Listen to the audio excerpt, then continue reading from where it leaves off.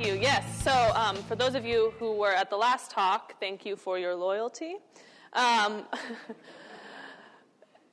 I'm going to talk about technical onboarding training and mentoring now. It's probably not going to be quite as funny. It's a linear talk, unlike our choose your own adventure story last time.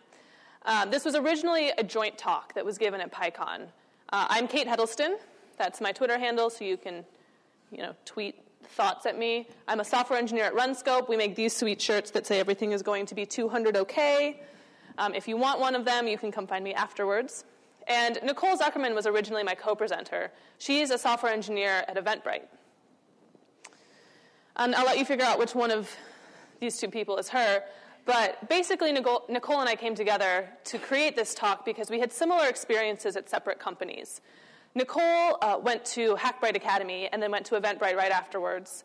I went to a small startup out of college, and at both of our respective companies, we, there wasn't any onboarding. I I've mostly worked at companies that are smaller than 12 people when I joined, so onboarding is not a huge priority.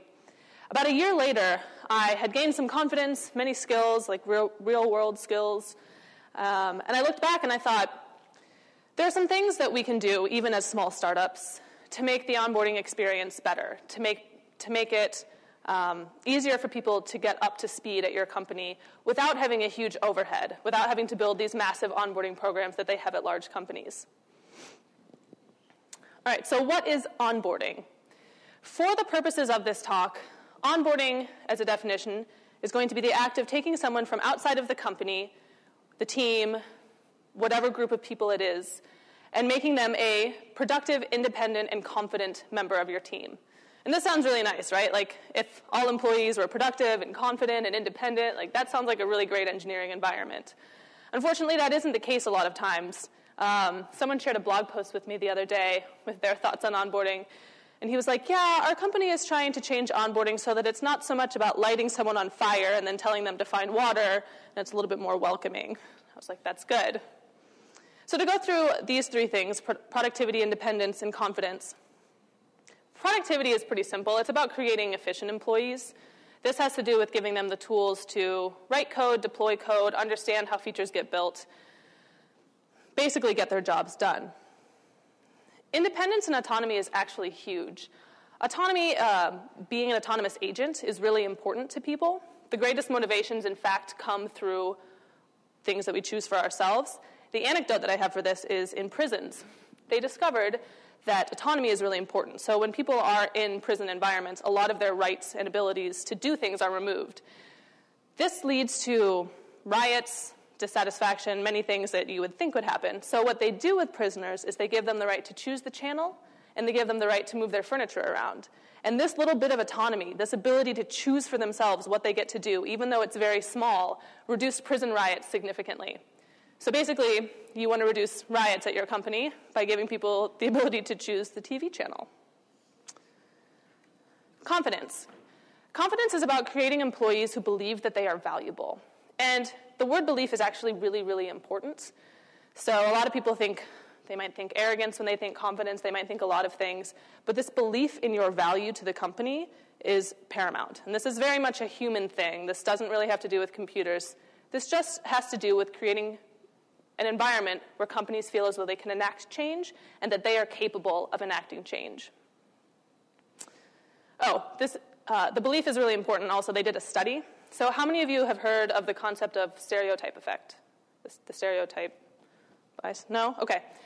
So, the stereotype effect works like this there are stereotypes in the world. Asians are good at math, women are bad with computers. And what they found is that before tests, tests on things like physics or math, what they'll do is they reminded one group of this stereotype. Women are bad at math, men are better at math. Asians are better at math than all of those groups. And what they found was when they reminded people of these stereotypes, people performed to the stereotype. If they didn't tell anyone at all, people performed in a control group setting.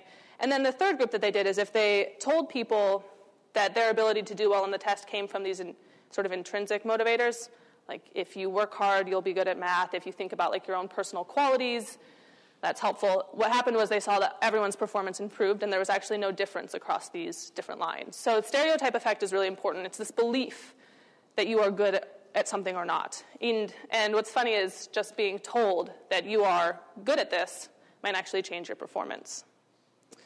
Okay, why do you care? Um, you're all, all already here, so you probably care about technical onboarding and training at your company. Maybe you have to hire a bunch of new engineers out of college. Maybe you have a bunch of interns coming on board and you're like terrified because what are you going to do with all of those interns? There's four categories that you should care about when thinking about onboarding. There's the individual, there's the company, there's the team, and then there's also a bonus section on diversity. Onboarding is really important for the individual. The cost of losing an employee can range from tens of thousands of dollars to 1.5 to 2x their salary. If someone gets off to the wrong foot at your company, if they're not happy, if they never get up to speed, if they never feel autonomous, confident, and productive at your company, you're probably going to lose them. And that's really expensive. So, having good onboarding, just getting everyone off to a good start, is really important for individuals. Gets them going upwards like this. Um, it builds their skills, their confidence, their happiness. The next one is the company. Onboarding is really important for the collective producti- productivity of the company. And the anecdote for this one is at LinkedIn.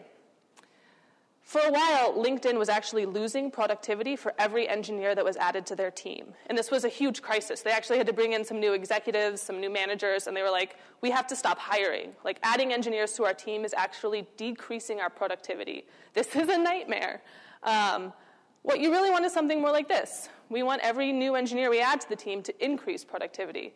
So LinkedIn had to do this massive reorganization. They had to do a whole bunch of getting rid of some things, adding some things, adding onboarding and training, and basically streamlining everything so that new engineers could come in and be productive. So onboarding and having onboarding early is going to stave off some of these problems that you might run into later. Team. So we talk a lot about technical debt, how many people have talked about or heard about the term technical debt? Yeah, you went to build something really fast, you kind of cut corners, and then six months later, you're like, oh crap, we have to rebuild this. Uh, we have a lot of bugs. This is completely unmaintainable. Nobody knows how to change this system. Well, similarly, there's team debt. If you add a lot of engineers really fast and really thoughtlessly, you can get something like this happening. Everyone's running in a different direction. And since people are the most important component for building software, um, this is really, really detrimental. You want something that's more like this, obviously. This is my favorite equation that I've ever made up. the story behind this equation, and I have a lot of sports anecdotes because I, I played sports for a long time and I coached for a long time. But in college, when I was done playing, I actually coached JV girls swimming and water polo. So, JV girls water polo, very new. Most of the girls couldn't swim, they couldn't throw a ball. We're talking like very basic skills. Um, playing a full game with like all seven players on the field was, I mean, it was like, you know, when you watch like Pee Wee soccer and all the kids kind of like chase the ball around? It's a little bit like that. And so, a huge amount of what I did was just basic skills. But the other half was kind of the emotional team building part.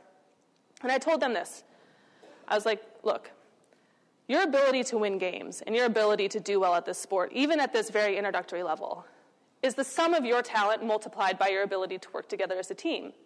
Some of the people on the team didn't have a lot of natural talent. They were going to have to work really hard to build their skills. But that's fine, because if they focused a lot on working together, if they focused a lot on getting things done as a cohesive unit, they could actually beat teams that had more collective talent but didn't work together quite as well. And we've actually seen this in software engineering. A lot of uh, the most popular tools out there were built by teams of less than 10. Gmail, for example, was built by a team, I think, of like five to seven people. It's maintained by like a team of over 400 engineers. So you can get a lot done collectively as a small group in terms of productivity, in terms of building really cool products, um, without having super talented engineers. If they all work really well together, a lot of mediocre engineers can do more than a few talented engineers who are kind of assholes. All right, the bonus section, diversity. So, to illustrate diversity, I have Sneetches. The story of Sneetches, it's a Dr. Seuss book. There's the star bellied Sneetches and the non star bellied Sneetches. And it's this story about the rift that's caused in the community of Sneetches based on those who had star bellies and those who did not have star bellies. And I use it to represent diversity because diversity can mean a lot of things. Um, there's the classic ones there's gender and racial diversity. There's also things like introverts versus extroverts, um, communication styles, I don't know, philosophical backgrounds, cultural backgrounds that don't have to do with race but have to do with how you were brought up. So, diversity can mean a lot of things at companies. And why is diversity uh, critical, and why is onboarding a really useful tool for increasing diversity? Well, basically, what happens is this if you have no onboarding, people coming into the company are going to rely on the existing social structures to get up to speed. So that means whatever the original group of people is, they probably have a way that they talk about things. They probably have certain social events that they do. They probably look fairly similar. And if someone comes on board who's like them, who's able to communicate, who's able to go out with them, who's able to connect with this core group based on these existing social structures, they're going to do better than someone who's not like the original group. Because what you have when you have no onboarding is not no onboarding. You have onboarding that relies on the social structures that you have in place. So, creating an onboarding program that's slightly more structured, slightly more explicit, will benefit people who are different, people who don't naturally speak the way that people at your company already speak, that don't naturally want to do the types of activities that people at your company want to do. Because not everyone wants to go out drinking at 10 p.m. on a Tuesday night if you have a really young, party oriented company. So, you want to give everyone a fair chance because they're very talented people who look very different from each other. Who can onboard? Anyone can onboard. Um, this is a team of people carrying a canoe. This is not a group of ants carrying a taco, just to let you know. I drew all these myself, by the way. not a very good artist. Um, anyone can onboard. And in fact, onboarding should be a collective effort. This distributes the load. One person alone trying to onboard everyone is going to burn them out. Similarly, I was talking to someone about um, mentorship, and someone was saying, Oh, you have to have a lot of experience to mentor. And depending on the type of mentoring you're doing, that's true. But Going from junior engineer to senior engineer is not a one step process. It involves going from junior engineer to less junior engineer, to less junior engineer, to maybe mid level engineer, to slightly more mid level engineer, to, hey, oh, I kind of think I get this now. And so having someone who's very experienced, who can guide the overall path, is important. But some of the best people to mentor and train your new junior engineers are going to be the ones who just did it. They're going to still have empathy for what it's like to take that step. They're going to understand the problems that they're running into. They're going to actually care about what this person is doing. And the more senior you get and the further away from that you get, the less empathy that you have for people. And in fact, we all know this senior engineers are total curmudgeons. We're like, everything's going to break and it's all going to hell, and I don't know why we care and come into work every day. And junior engineers are like, oh my God, that's awful. I'm so excited about what I'm doing. When? Okay, Onboarding starts as soon as the offer is accepted. Basically, onboarding is not just about teaching someone the skills that they need to be successful at your company. It's about bringing another human being into a group of human beings. So, making someone feel welcome, figuring out how to integrate them into the team. That's going to start as soon as, as they've decided to come on board. Onboarding roughly ends when someone is reliably independent. And this can mean different things to different companies, and I left it kind of vague on purpose. But the idea for a junior engineer, at least, is that we bring them into the company, and they're kind of like our onboarding program is done when they're reliably independent. We can give them tasks and trust that they're going to come up with a semi reasonable solution in a semi reasonable amount of time, and we can manage that effectively. So, the how section that we're going to go through now is a little bit philosophically about how to do this, but we're also going to go through some concrete examples and ideas for how you can build your onboarding program at your company. The first thing to think about when onboarding people is to maximize your return on investment. And this might seem somewhat callous, but at the end of the day, why wouldn't you want to maximize your return on investment? Like, you don't want to put a ton of resources into something and get less out of it than you put in. That just doesn't even make sense. It's a really, really common pitfall for mentors, especially first time mentors, so if you have people onboarding junior engineers at your company and they've never onboarded someone, what you essentially have is you have a junior mentor mentoring a junior engineer. Like you have someone who's never done this before. They don't know what's going on. I love talking to people who are first time mentors. They're like, I'm going to be the best onboarding mentor ever. We're going to do everything together. We're going to take these courses. We're just going to, by the, by the time they're done with these three months, they're going to know everything I know. And that's highly unrealistic because people only absorb information at certain rates. Also, your expertise has to do with the number of issues that you've seen, and it just takes time. Over time, you see more issues, you solve them, you fix them. So people are going to grow at the rate they're going to grow. You can help make that better, you can help focus their, their path, but you're not going to make them into a senior engineer overnight. This tends to burn out mentors. So people do this, they burn themselves out in three months because it's exhausting teaching someone, and then they're like, I can't mentor again for another year. And your company's like, well, okay, I guess we can't hire any more junior engineers. Like, we don't have anyone to train them. Instead, I like to think of it as bumper bowling.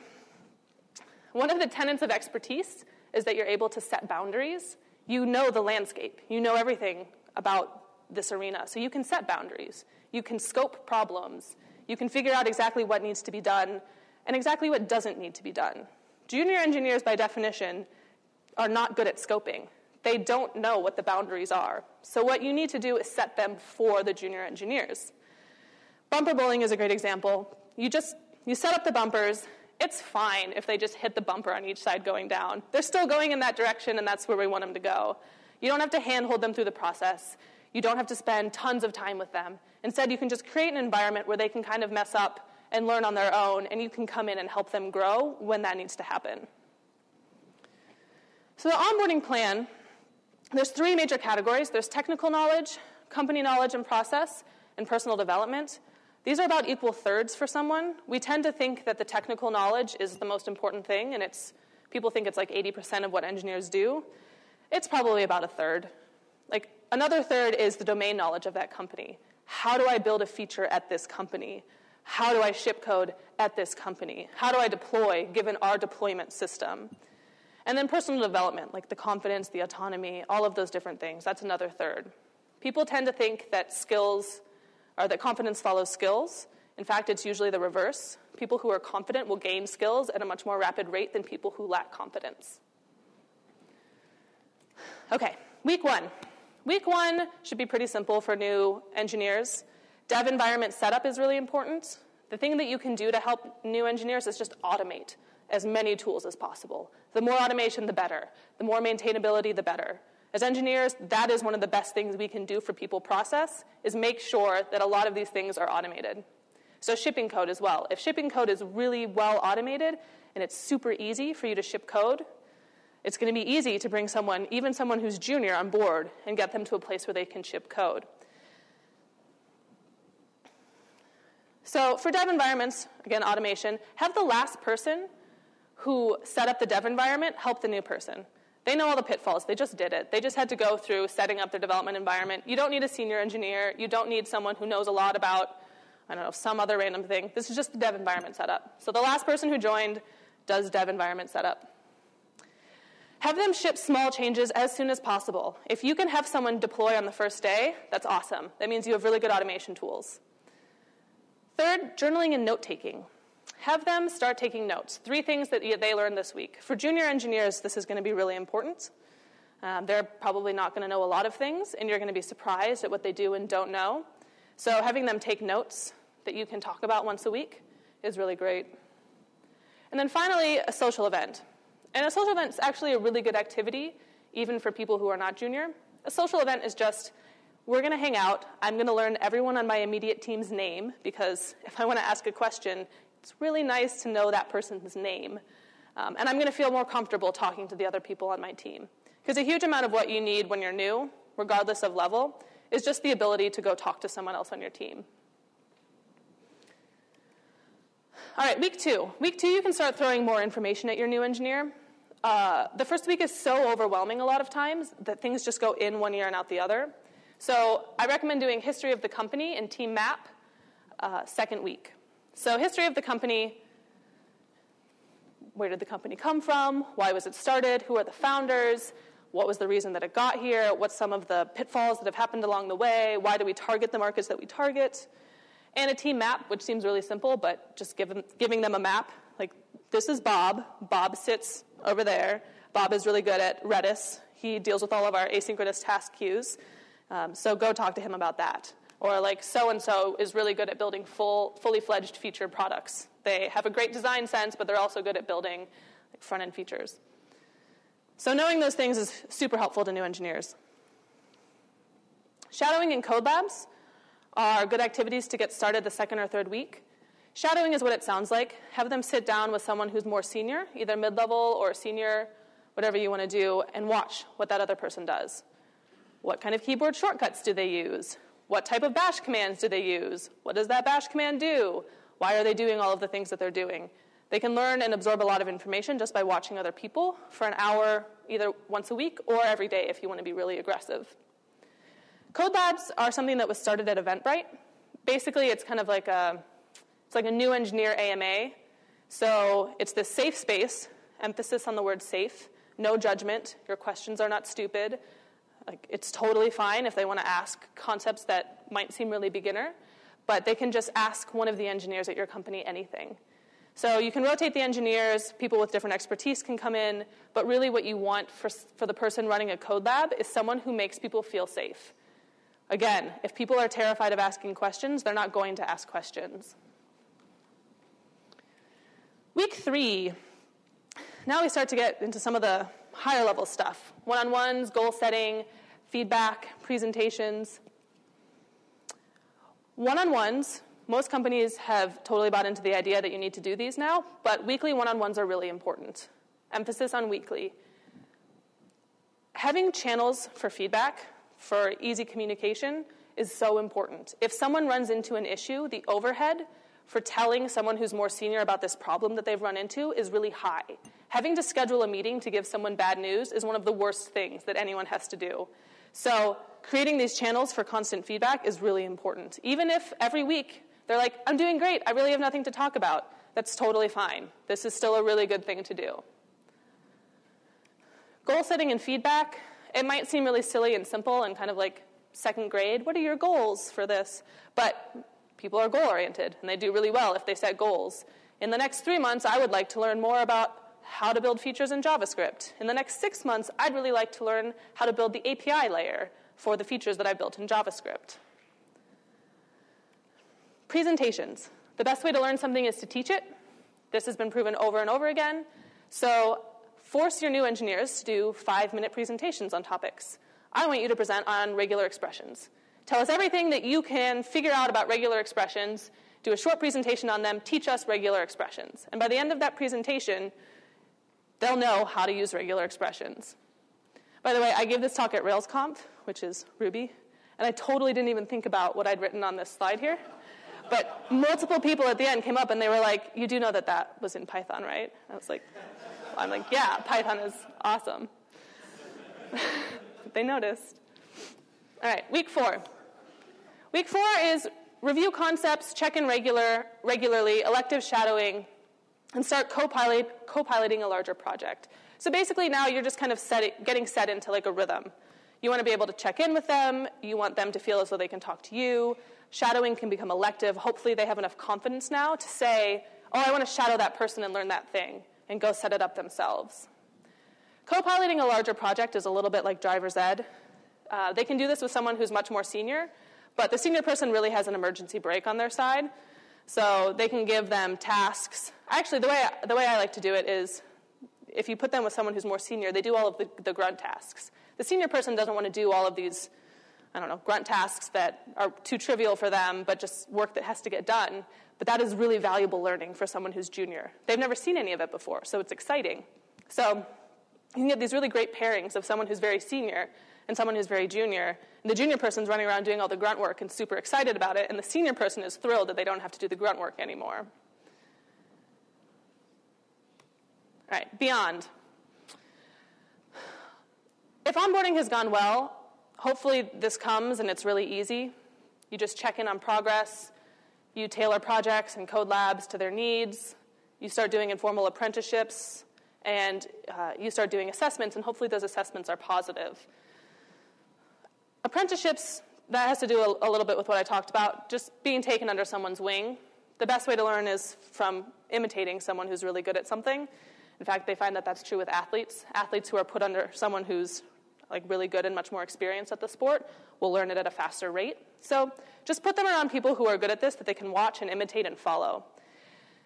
If you put them with someone who is has bad practices, and I've seen this happen, and it's a pet peeve of mine. If you put them with someone who's senior but who has really bad practices, and that junior person picks up those bad practices, and you punish that junior person for the bad practices that they picked up from the person that you paired them with, that is a really bad experience. So, a lot of times we let senior engineers get away with behavior that we wouldn't let junior engineers get away with. Be cognizant of that. So, know what bad practices some of your engineers might be passing on to junior engineers, and don't punish them for it. Just explain to them why that's bad, or put them with someone who has a really good practice in that area. Assessment is really important. People's trajectories are going to be wildly different. Some people are going to do awesome and they're going to shoot straight up. Some people are going to plateau. Some people are going to be really up and down. So, having a plan for assessment is important. As we said before, technical ability is not the only category to assess. There's confidence, there's code quality, communication, judgment, and technical knowledge. Judgment is one of the bigger ones. It's slightly more difficult to assess, but if you can hire people who have great judgment, you can trust them to do things, even if they're really junior, that are going to be good. And the example of this is one of my friends at uh, Hearsay Social, the last company I was at. She worked in support for a long time, and she taught herself engineering on the side. So when she first started engineering, by every definition, she, w- she was very junior at engineering. But she knew the product inside and out. She knew the customers inside and out, and she knew exactly what needed to be built in any given situation. In other words, she had excellent judgment. So I could give her tasks, tasks that, I mean, they were pretty simple, but she might take a little bit longer on. But when she came back to me with the feature that she had built, I was like, yes, this exactly solves the problem that we wanted to solve. This is awesome. You've saved us all time. Conversely, engineers with bad judgment will build terrible things very quickly for your site. And then you're like, no, no, please don't merge that. And you're like taking code out. So, judgment is something that's really, really great if you can find it in someone. And it's it's hard to assess, but I recommend that as something to look for in junior engineers. All right, the main takeaways. Onboarding aims to make new team members confident, productive, and independent. If you focus on these three things and you really try to get people to that place, you're going to have successful engineers most of the time. It, it benefits everyone in the long run. The individual gains skills, the company is more productive, the team is more productive, and diversity is better at your company. And finally, anyone can be involved in onboarding, so you don't have to be super senior. Getting everyone involved will spread out the load. It'll make it easier to onboard new engineers. And for startups who don't have resources, it's going to make it possible to hire junior engineers. And since there's two ways to get great engineers at your company stealing them or making them it's good to have channels for making engineers. And that's it.